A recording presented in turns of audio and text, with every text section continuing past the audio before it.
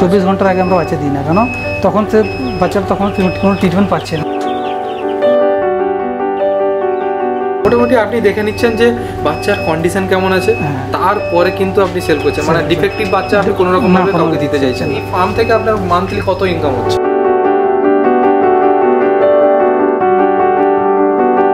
নমস্কার, প্রিয় দর্শক, আমি সুশোভন আর আপনারা দেখছেন সোর্স কাউন্টিং চ্যানেল তো প্রত্যেকটা ভিডিওর মতন এই ভিডিওটাও আপনারা আশা করি সাপোর্ট করবেন। অনেকেরই ডিমান্ড ছিল যে এই পূর্ব মেদিনীপুরের মধ্যে বা পশ্চিম মেদিনীপুরের মধ্যে কোথায় দেশি মুরগির বাচ্চা পাবেন। এই কারণে আমাদের এই মেদিনীপুর সংলগ্ন বা মেদিনীপুরের লোকেরা অন্যান্য যে জায়গায় যেত, মুর্শিদাবাদ, চব্বিশ পরগনা, নদিয়া, এইসব সাইডে ছুটে যেতেন দেশি মুরগির বাচ্চা নেওয়ার জন্য। তো আজকে ফাইনালি আমি আপনাদের একটা পশ্চিম মেদিনীপুর জেলার এমন একটা জায়গার সন্ধান দেবো যেখানে কিনা আপনি দেশি মুরগির বাচ্চা পেতে পারেন। তার সঙ্গে সঙ্গে তো আলাদা ট্রিটমেন্ট বা সাপোর্ট তো আপনি পাবেন। তো চলুন।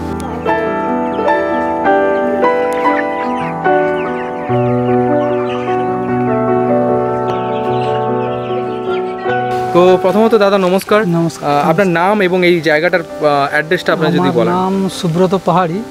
আমার গ্রামের নাম বহরদা। এটা হচ্ছে জাহালদা পশ্চিম মেদিনীপুর যেটা তার সংলগ্ন বাস স্ট্যান্ড যেটা আমাদের নিয়ারেস্ট বাস স্ট্যান্ড হচ্ছে জাহালদা। প্রত্যেকের কাছেই একটা জিনিস আমি প্রথমে জানতে চাই যে এই ফার্মিং রিলেটেড বিজনেসে আসার কারণ কি? ফার্মিনেটা কারণ হচ্ছে আমি বাইরে থাকতাম। এই যে লকডাউনের বাজার এসে বিভিন্ন কোম্পানি বন্ধ হয়ে গেল বা বাইরের পরিস্থিতি খুব খারাপ। আচ্ছা। যার জন্য বাড়ি চলে এলাম বাড়ি চলে এলাম। এবার আমার স্টাফে মানে কোম্পানির স্টাফের মধ্যে একজন মারা গেলো করোনা করোনার আচ্ছা আচ্ছা। যার জন্য বাড়িতে যখন বাড়িতে সবাই ভয় পেয়ে গেল আমাকে যেতে দিতে চাইলো না। তখন ভাবলাম কিছুটা করতে হবে। তখন এরকম ইউটিউব চ্যানেল অনেক আরও চ্যানেল আছে তারা সার্চ করে দেখলাম যে এই ব্যবসার সম্বন্ধে কিছুটা করলে হয়তো কিছু আমি কিছু মুনাফা পেয়ে আমার জীবিকা নির্বাহটা করতে পারব। আর এটা আগের দিনেও ফিউচার ফার্মিংয়ের ব্যবস্থাটা এই গ্রামের দিনে প্রত্যেকটা মানুষের জীবিকা উজ্জ্বল করতে পারে। যার জন্য এটা আমার এগিয়ে আসা বা করা। মানে ফার্মিং রিলেটেড আপনি ফার্মিং রিলেটেড বর্তমানে আমি ইনকিউবেটার একটা ইয়ে করেছি। তার থেকে ডিম থেকে বাচ্চা ফুটে সেই বাচ্চাটাকে আমি বিভিন্ন ফার্মে ডেলিভারি করছি। এটা মানে বিভিন্ন এখানে ফার্ম আছে কিন্তু সেখানে সব জায়গায় বাচ্চা সেভাবে পাওয়া যাচ্ছে না। আচ্ছা। তো তারা বিভিন্ন গ্রাম থেকে বহুত দূর থেকে জেলা থেকে নিয়ে আসছে। তাতে বাচ্চা অনেক সময় দূর থেকে নেওয়া আসা বাচ্চা মারাও যাচ্ছে। মারাও যাচ্ছে। বা বাচ্চা সেভাবে হেলথি হতে পারছেন। তো যদি আমার কাছের গ্রামে যারা ফার্মিং করছেন তারা যদি আমার কাছ থেকে বাচ্চা নিতে পারেন পাশে যখন থাকবেন তারা হেলথি বাচ্চাও পাবেন এবং বাচ্চাদের যে সাপোর্ট দরকার সেটা আমি ওনাদেরকে সেভ করতে পারব। আপনার এই মুরগি চাষের যে ব্যাপারটা বললেন বা বাচ্চা বিক্রির কথাটা যে বললেন তো আপনার পুরো ফার্মটা একটু যদি ভিজিট করান তাহলে খুব ভালো হয়। এখানে আমার তিনটা সেকশন আছে। প্রথমে হচ্ছে একটা ইনকিউবেটার সেকশন যেখানে শুধু বাচ্চার ডিম থেকে বাচ্চা ফুটছে তারপর হচ্ছে বাচ্চা ফোটার পরে যে আমি একটা সেকশন রাখছি সেটা। তারপর হচ্ছে যেখান থেকে আমি বড় মুরগি হচ্ছে বা সেখান থেকে ডিম কালেক্ট করছি সেটা। তো আমি প্রথমে আপনাকে ইনকিউবেটার সেকশন নিয়ে যাব যেখান থেকে ডিম থেকে বাচ্চা ফুটছে। সেই সেকশনে আপনি দেখাতে চাইছি এটা হচ্ছে আমার ইনকিউবেটার আচ্ছা। এটার ক্যাপাসিটি হচ্ছে তিন হাজার ডিমের ক্যাপাসিটি এই হচ্ছে তো আপনি এই ফার্মটাকে আলাদা আলাদা কেন করেছেন? চিন্তা ভাবনা কেন? এই আলাদা চিন্তা বলতে হ্যাঁ। একটা এই ধরুন নতুন বাচ্চা এটা ইনকিউবেটার ডিম থেকে বাচ্চা ফুটছে। সেটা থেকে যখন নতুন বাচ্চা থাকবে তার ভাইরাস তাকে অ্যাটাক করে খুব তাড়াতাড়ি। আচ্ছা। একটা বাচ্চা ছেলে যত তাড়াতাড়ি রোগ প্রতিরোধ ক্ষমতাটা কম থাকবে, একটা বড় লোকের সেটা বেশি থাকবে। তো সেরকম মুরগির ক্ষেত্রেও তাই। একটা ছোটো বাচ্চার রোগ প্রতিরোধ ক্ষমতা কম থাকবে যার জন্য তাকে আলাদাভাবে রাখা আছে তো তাকে ভাইরাস অ্যাটাক না করে। আর তারপরে বড় মুরগিটা আলাদাভাবে রাখা আছে কেন? সেটার মধ্যে যেন তার মধ্যে আলাদা তাকে ভাইরাসটা অ্যাটাক না করে, যার জন্য দুটো সে তিনটে সেকশনই আলাদা করেছি আমি। এইটা হচ্ছে আমাদের ইনকিউবেটরের মাধ্যমে একটা ডিম রাখা আছে। এটা হচ্ছে তিন হাজার ডিমের ক্যাপাসিটি যেটা আমি প্রথমে বলেছি। এটা এই ট্রেতে ডিমগুলো রাখা আছে তিন হাজার ডিম রাখা আছে। আচ্ছা। এটা কত মানে কত দিনের ডিমগুলো আছে? এটা হচ্ছে দশ দিনের আজকে দশ দিন হলো এই ডিম দশ দিন? দশ দিন। আচ্ছা। মানে স্টেপ বাই স্টেপ বেরোয় আপনার আবার নতুন ডিম বসে যায়। এটা কি শুধু মানে কোন প্রজাতির আপনার ডিমগুলো রেখেছেন? এটা এখানে দুটো প্রজাতি আছে একটা দেশি আছে আর একটা সোনালি মুরগি। দেশি টাইপ সেটা সেটা আলাদা একটা সোনালি মুরগি। স্টেপ বাই স্টেপ রেখেছেন আচ্ছা হচ্ছে। দেশি। তো আপনার এখানে দেখছি অনেকগুলো ডিম আছে। এই যে ম্যানুয়ালের কথা বললেন আপনি একটু যদি একটু দেখান কেমনভাবে আপনি করেন জিনিসটা মেনটেন করেন। আমি দেখাচ্ছি। ম্যানুয়ালি বলতে এই যে ডিমটা আছে। এটাকে মুভমেন্ট করাতে হয়। আচ্ছা। যেটা অটোমেটিক মেশিনে আপনার ট্রে যে অটোমেটিক উলট পালট হবে তো আপনার ডিম অটোমেটিক ইয়ে হয়ে যাবে। সেটা ম্যানুয়ালি বলতে আমাকে হাত দিয়ে এই ডিমটাকে নাড়িয়ে দিতে হবে।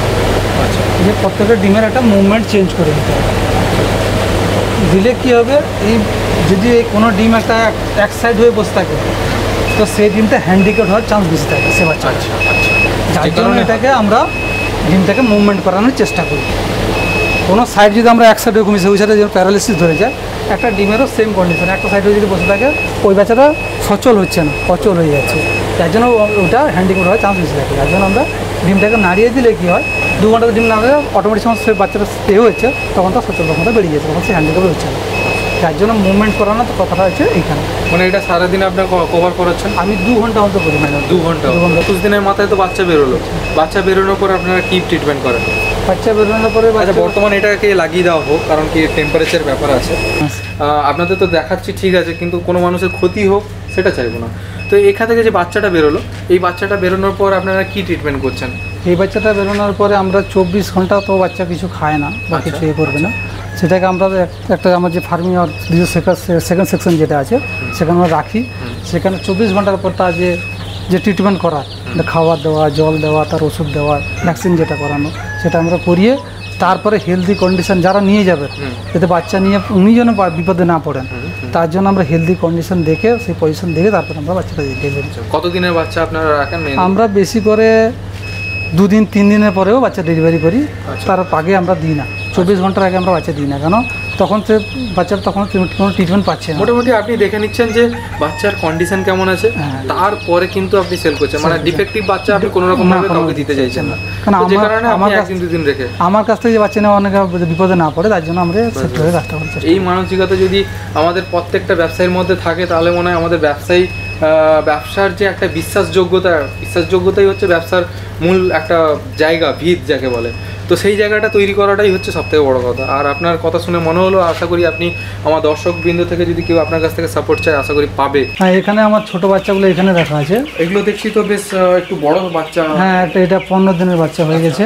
আচ্ছা তো এটা খুব বেশি নেই যেটা ছিল বিক্রি হয়েছে বাকি যে কিছু আছে সেটা আমার কাছে রাখা আছে বাকিটা বিক্রি হয়ে গেছে। আর কিছু আছে যেটা ছোট দেখতে পাচ্ছেন সেটা হচ্ছে আমার দুদিনের বাচ্চা। আচ্ছা এইগুলো হচ্ছে আপনার? দুদিনের। দুদিনের বাচ্চা।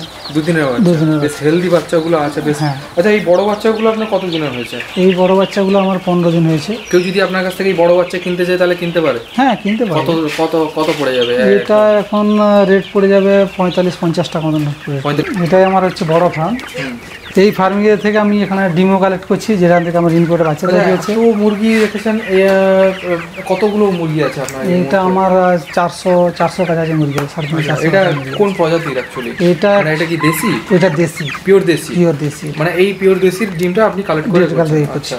শুধু কি এই ডিমে হয়ে যায়? আপনার তিন তিন হাজার সাড়ে তিন হাজার না এখান থেকে এত ডিম বেরোয় না। হ্যাঁ। বাকি কিছু আচ্ছা যেগুলো আমার অন্য অন্য ফার্মে যেটা উন্নত মানের ডিম আছে বা যারা আমার থেকে অনেক অভিজ্ঞ তারা ইয়ে করছে তাদের কাছ থেকে ডিম নিয়ে এসেও আমি ইয়ে করছি। তাতে আমার নিজের ফার্মিংও ডেভেলপ হচ্ছে এবং বাকি যারা নিয়ে যাচ্ছেন তাদের ফার্মিংও ডেভেলপ মানে সবাইকে নিয়ে একটা ইউনিটি তৈরি করে এটা আমাদের একটা পরিবারের মতন। সবাই যদি ভালো থাকে আমরা ভালো থাকব। অবশ্যই এই হিসাবে আমাদের করা। খুব সুন্দর লাগল আজকে ফার্মটা ভিজিট করে। তো মোটামুটি এই ফার্ম থেকে আপনার মান্থলি কত ইনকাম হচ্ছে?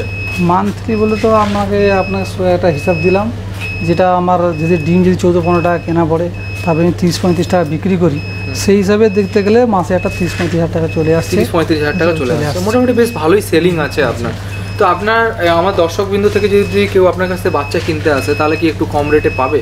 মানে কত টাকাতে বিক্রি করছেন? পঁয়ত্রিশ টাকা বললেন। আমি পঁয়ত্রিশ টাকা যদি দর্শক বিন্দু থেকে কেউ যদি আপনার কাছ থেকে হেল্প চায় বা বাচ্চা নিতে চায় তাহলে কি একটু ডিসকাউন্ট হতে পারে? হ্যাঁ ডিসকাউন্ট আমি যদি আপনার চ্যানেল থেকে যারা দেখে এত পপুলার এ করে আর যখন আসছেন তো আমরা চাইব যারা এত দূর থেকে এ করে দেখে এত ইয়ে আসছেন তাদের কাছে কিছু ডিসকাউন্ট দিয়ে তাদের কাছে আমি আমার এটা পৌঁছে দেওয়ার চেষ্টা করব। আশা করি আপনারা আসুন আমরা সবাই ভালোভাবে আর আমাদেরও উদ্দেশ্য এটাই যে গ্রামের ছোট ছোট ব্যবসাগুলোকেও আপনাদের সামনে তুলে ধরা। আশেপাশের মানুষ জানতে পারবে এবং এতে কি হচ্ছে আপনাদেরও হেল্প হবে একটা সঠিক সন্ধান পেলেন। পাশাপাশি মানুষ কোনো সমস্যা হলে বা কোনো ভুল ত্রুটি হলে আপনারা নিজেদের মধ্যে একটা আন্ডারস্ট্যান্ডিং করে নিতে পারবেন। আর না হলে আপনাদের কি করতে হচ্ছে বাইরে যেতে হচ্ছে বাইরে থেকে বাচ্চা এনে সেই জায়গায় অনেকটা মোটালিটি হয়ে যায়। নষ্ট হয়ে যায় বাচ্চা। আর এখানে, এখান থেকে পাশাপাশি নিলে মেদিনীপুরের মানুষ মেদিনীপুর থেকেই নিলে, তাহলে কী হচ্ছে আপনার কিছুটা মোটালিটির পরিমাণও কমে যাচ্ছে, বিভিন্ন রকম সাপোর্টও পাচ্ছেন। তো কেমন লাগল ভিডিওটা? অবশ্যই কমেন্ট বক্সে কমেন্ট করে জানাবেন। তো আর চেষ্টা করছি আপনাদের জন্য এইরকম ছোটোখাটো ব্যবসা আপনাদের সামনে তুলে ধরার। তো নেক্সট আমি চেষ্টা করব একটা বি ফার্মিংয়ের ওপর ভিডিও করার। মানে অনেকে রিকোয়েস্ট করেছে যে মৌমাছি চাষের ওপর ভিডিও করুন। তো চ্যানেলটার পাশে থাকুন, সঙ্গে থাকুন, আর সম্পূর্ণ ভিডিওটা দেখার পর কেমন লাগল ভিডিওটা অবশ্যই কমেন্ট করে জানাবেন।